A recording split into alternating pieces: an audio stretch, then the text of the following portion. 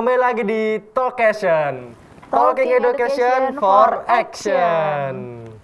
Nah, kalian di rumah, setelah tadi kita banyak pembahasan dan banyak juga berbincang-bincang mengenai sekolah Gajah Wong bersama dengan Mbak Vera, saatnya kita di Games Time.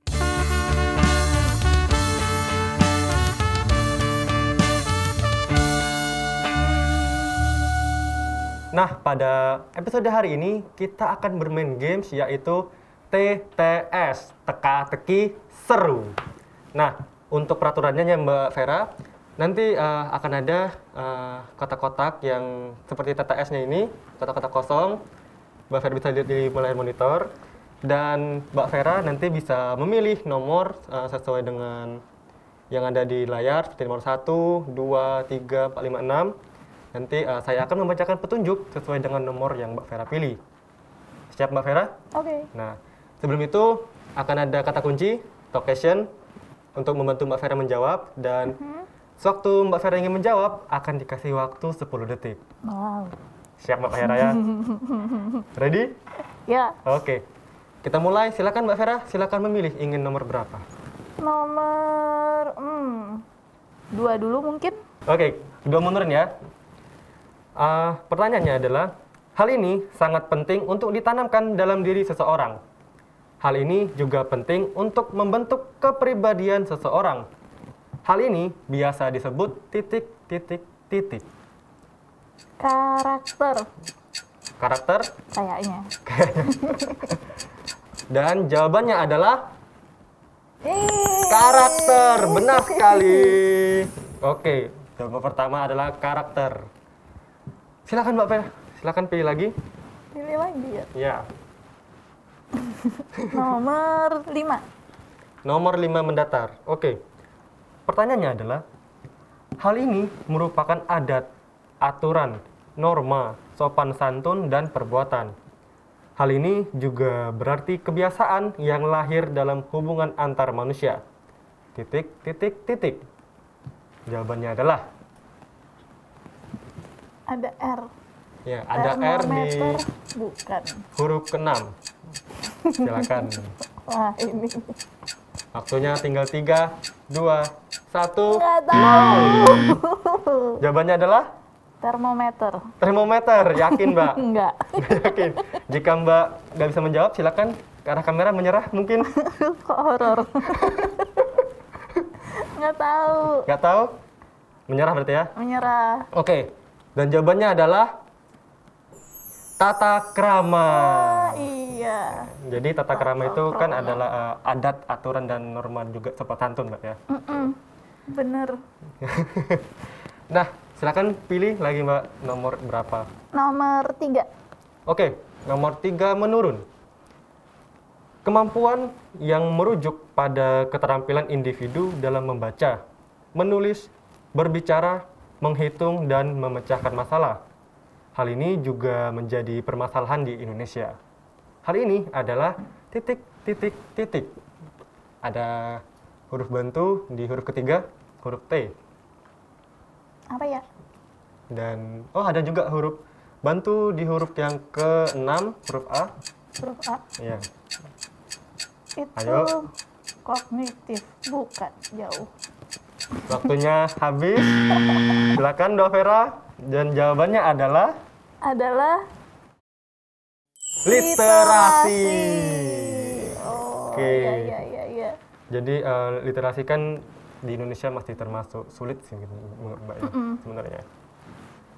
Dan untuk pertanyaan selanjutnya, ingin pilih nomor berapa? Nomor satu.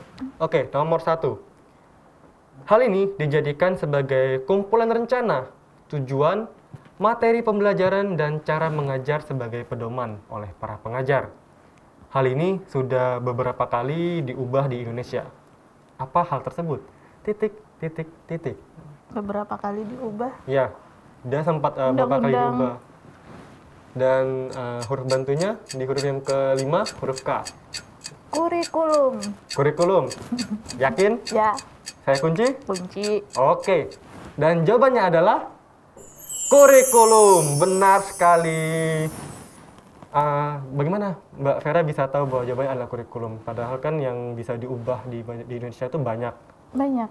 Iya kan rencana tadi Oh, dan berkaitan dengan pendidikan. oh, berkaitan dengan Jadi, pendidikan. rencana pendidikan RP biasanya gitu ya kaitannya Kata kuncinya ya untuk eh, pendidikan itu tadi Iya. ya. Oke. Ah, langsung ke pertanyaan terakhir ya Mbak ya. Pertanyaan Tinggal keenam. Hajar Dewantara selain dikenal dengan semboyan Ing Arso Sung Tulodo, Ing Madyo Mangun Karso, Tut Uri Handayani, ia juga dikenal sebagai Bapak titik titik titik. Wah, harusnya gampang sih Mbak pendidikan lah ya Yakin pendidikan ya? kayaknya sih Saya kunci. kunci. Oke. Dan jawabannya adalah pendidikan. Benar sekali. Ya, seharusnya mudah lah jawabannya ya, yang terakhir ya. Oke, eh, untuk Kesers di rumah itulah tadi eh, games kita yang eh, berupa TTS dan Mbak Vera jadi bisa menjawab tiga pertanyaan dan salah dua pertanyaan. Nah, tidak apa-apa Mbak, tidak apa. Dan eh, setelah tadi kita juga berbincang panjang lebar nih Kesers di rumah mengenai sekolah Gajah Wong, saya ingin bertanya terakhir kepada Mbak Vera. Apa tuh? Harapan. Benar. Apa sih harapan Mbak Vera untuk sekolah Gajah Wong dan arti sekolah Gajah Wong bagi Mbak Vera itu? Hmm, harapan saya buat sekolah Gajawong itu sekolah tetap bisa menjadi gerakan untuk pendidikan, jadi melakukan perubahan-perubahan menyesuaikan dengan menyumbangkan gerakan ini untuk membangun Indonesia lebih baik amin. Gitu. Untuk, Untuk arti mungkin? artinya kalau arti itu jadi sebenarnya saya dapat pesan dari bapak saya Oke. bagaimana caranya untuk melakukan revolusi tanpa darah itu sebagai eh, tugas kaum muda sekarang. Hmm. Jadi Revolusi salah tanpa satu darah. revolusi tanpa darah itu menurut saya ya lewat Lewat pendidikan. itu. pendidikan ya Mbak ya. Mm-mm.